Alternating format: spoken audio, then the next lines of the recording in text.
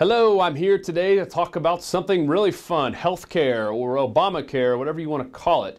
And now, here in 2014, this is January of 2014 when I'm filming, filming this. And January 1st was kind of that first cutoff date. And I believe they extended it by a couple of days to register and enroll. And uh, you literally have to be sleeping underneath a rock to not hear about this. It's pretty much affecting everyone in some shape or form.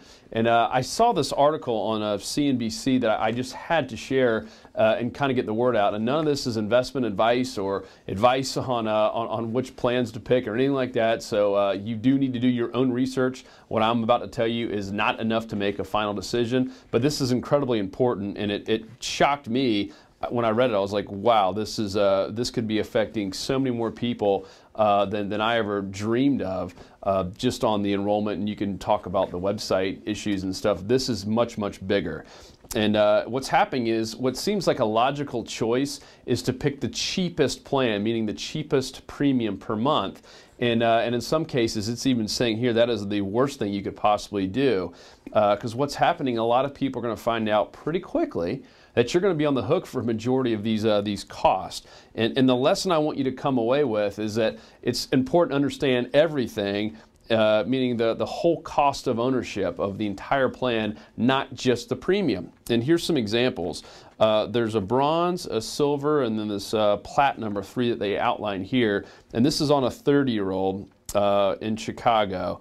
Uh, a 30 year old's average, uh, average monthly premium would be $222 on bronze, 279 for silver, so a little bit more expensive, and then 338 for platinum. So take that 338 per month that they would have to pay for their health insurance versus 222.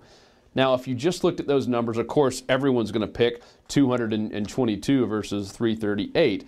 But here's some crazy numbers here, and these are just averages once again. So this is not uh, particularly going to pertain to you. Uh, but on average, a bronze plan, remember that was the cheaper one, the deductible is a little over $4,000. So you have to pay the first 4000 of anything that, that goes wrong, especially any uh, in, in critical uh, uh, uh care, anything that really happens uh, bad to you.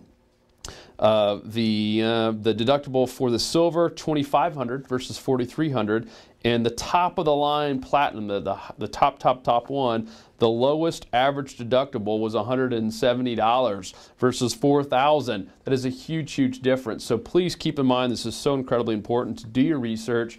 Make sure you know what you got and know the total cost the total overall cost of your plan not just the premium that you pay uh, per month um, a couple other uh, pieces here that, that is nice about this new healthcare. A lot of preventative services, you know, uh, blood pressure and mammograms, et cetera, uh, uh blood testing, those are going to be free in a lot of cases. Uh, but keep in mind, anything else is going to be coming out of that deductible. So that deductible is incredibly important.